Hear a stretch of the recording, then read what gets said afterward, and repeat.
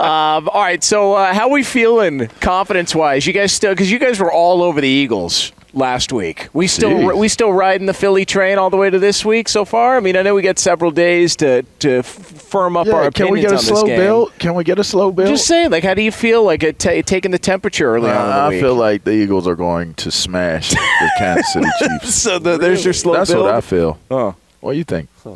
What do you guys think?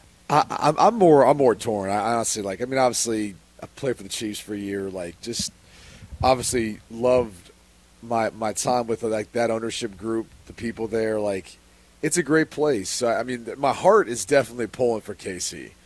Um, I do. I, I said it last week. You know, I feel like kind of not the extent that Philly's going to smash them like LaVar does, but I kind of feel like it, it. Well, I guess if you go back to that Tampa KC Super Bowl, that was what it was. I mean, it was what thirty-one nine. Yeah. So I, I, I, I kind of look at it and feel like the pass rush, um, the defense, the ability for Philly to run the football, their offensive line's been so good. I just feel like if there's one advantage, like distinct advantage between the two rosters, So front. it would be the defensive fronts and offensive front. Like I, I think that's the one thing I keep going back on and going. Philly's better on, on both, and that's not saying that like KC's bad on their offensive line.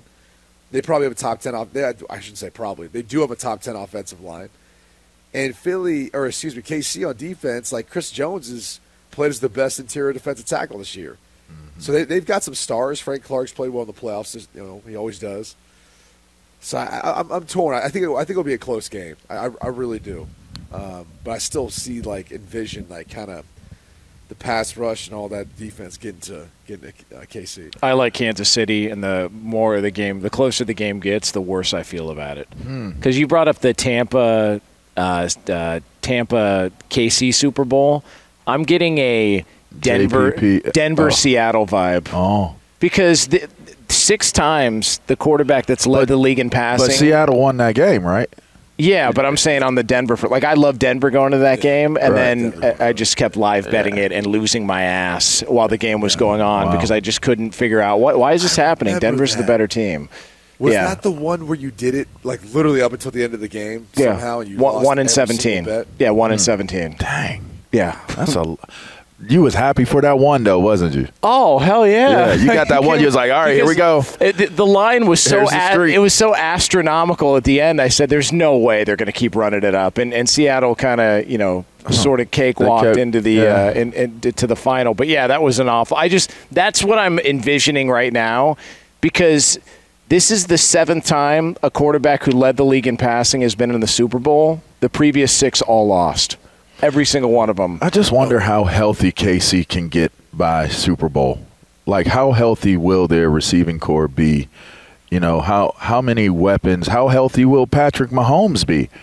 And I'm sure that will be a story that continues to play out. Is where's his health in regards to to hitting into the game? I just I just think they ran out of gas against Cincinnati, and and outside of some some calls you know, and, and we could say questionable. I don't really care to call it questionable or not at this point. It happened, it's over. But you can say that the game was in some type of way altered. Are, are Bengals fans still crying? By the way, do we have an update? I don't on know if they're still. fans? Are they still crying? Lee? I don't. I don't man. know. But I, Bi- bitch and moan, bitch and moan. but they we were got cheated. They were the better blah. team. I mean, I, I know you can't say they were the better team because they lost, but that was that was the better team on that field. I just didn't think that. I don't. I still don't know how KC got out of that game, but they did. And and you know what? For what it's worth, the same exact thing that I'm going to say right right now about them getting out of that game will be the same exact thing I'd say if Kansas City gets out of this game and wins the Super Bowl. You have to put Patrick Mahomes and GOAT conversation to a different capacity if he's able to have a good game in this Super Bowl. Yeah. It solidifies itself, I, I mean, in so many ways, because this is a daunting task for for this offense, considering you know what what they're going up against and what they have coming into it. You know what's interesting about Mahomes? If you actually look at his two Super Bowl appearances, They're not the greatest. yeah, he didn't. Not the greatest. uh, he played like what a half a quarter well, and that was the the win against San Francisco. But against And San Tampa, he was had running him. for his life. San Fran had him until Yeah. until they picked it up in the second half. So know, he has couple big plays. he has struggled in the Super Bowl. So this will be you know third time, and, and then he gets to go against the Eagles defense and, and Philly and But to and Q's point, bringing. to Q's point though, the defense has played like they probably put their best game uh, together this last game. And if you want to see, you know, if you want to have confidence, you want to see your defense play at the level that they just played at. I mean, Spags had them ready to go. Their their game plan looked looked sound, and and it gave them the opportunity to stay um, close enough in the game where you know that they were able to get into the the, the scoring position to win the game um, the way that they did. So I just don't know that they'll have enough defense. If the, if they do show up, that's going to be the difference for me in the game. But I just don't know if they're going to have enough defense to do that for four quarters against the balance that that Philadelphia is bringing into the game. Brady, were Yeah, you? It's, al- it- I would it's almost like Miles Sanders has flown under the radar. Like the guy's rushed for what 1,200 yards this year. He's a, he's as solid of a back as it gets. Like Boston Scott's had his moments. Kenneth Gainwell like can can you know pitch in as far as in the passing attack and also adding some balance there. Like they are a tough tough out. Um, just just with the scheme, like the way they you know the, the zone read, the quarterback run game, not being able to play as much man because Hurts will take off Hurts with his legs. I mean, Steve Spagnuolo is going to pressure. It's what he does.